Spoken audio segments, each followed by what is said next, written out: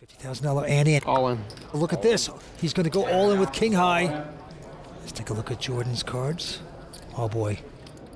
Call. He's got an ace nine of hearts and a quick call by Jordan, of course. Well, Jordan well out in front here with the ace nine. About a two to one favorite to win this pot and take this title right here, right now. The Cristos Nation all excited. They know their man could win it right here. So far in this heads up battle, they played Dan Heimiller like a snare drum. I can tell you that. But it's not over. Five cards to come for Dan Heimiller's poker destiny, as well as Jordan's ace nine up against king four, and a nine hits on the flop. That is good for Jordan out in front with the nines. His parents and friends celebrate.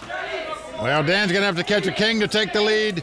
Two runners to make a straight, or two running fours. Otherwise, he's going to be our runner-up in this tournament. Crowd is chanting ace. They want to wrap this up in Hollywood. It could happen.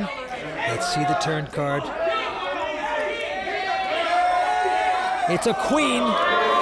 Jack or four. Now he's got straight possibilities. Dan Heimiller needs a king or a jack, which would give him a king eye straight to win this pot to stay alive. Otherwise, the former pizza delivery boy, the drummer, the man that quit college to play on the poker circuit, that is Jordan Cristos, will become our champion. Here he comes. Six of spade on the river. Jordan has taken his title. Only 26 years old from Palmdale, California. Jordan Cristos is our champion. And the Cristos Nation comes out of the stand.